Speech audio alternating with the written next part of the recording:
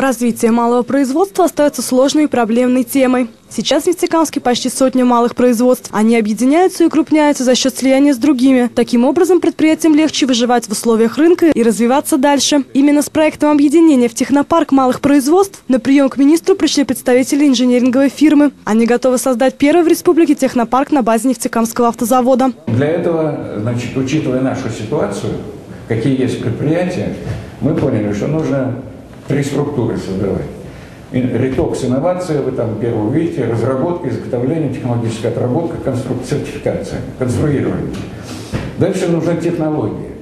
Раз президент сказал, что нужно создавать технопарки при промышленных предприятиях, это все будет основываться на субконтрактации. Идея министру понравилась. Он пообещал ознакомиться с проектной документацией и вынести решение. Я скажу, что за реализацией таких идей будущее, вот, точки роста, которые, так называемое модное слово точки роста, угу. вот сегодня в республике нет ничего более жизнеспособного, значит, как вот как раз создание таких парков, центров, да. как угодно их можно назвать, да, это, это суть, суть, знаете, суть абсолютно не меняется. Значит, э, я сам бывал таких сам видел. Значит, мне все это очень нравится. Я вижу, насколько бурно развивается это направление.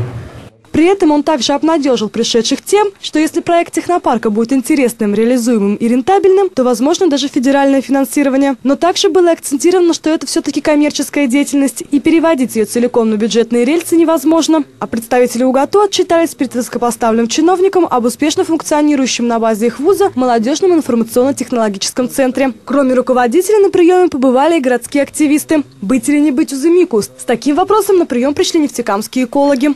Во-первых, вопрос о переносе Узымика в Нефтекамск еще не решен. Это официальный ответ Совета директоров ОАО «Узымик».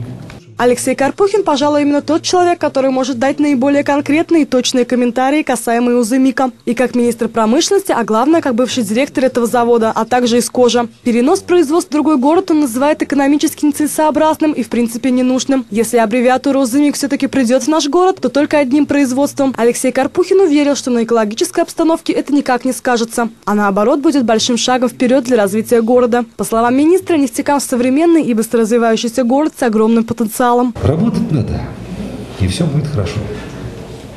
Потенциал у города колоссальный. То, что сегодня э, сосредоточено здесь с промышленностью, ну, таких предприятий единицы в России, да, центры компетенции сегодня здесь есть, люди есть, город молодой. Полина Сюткина, Дмитрий Кузнецов. Информационная программа «Время новостей».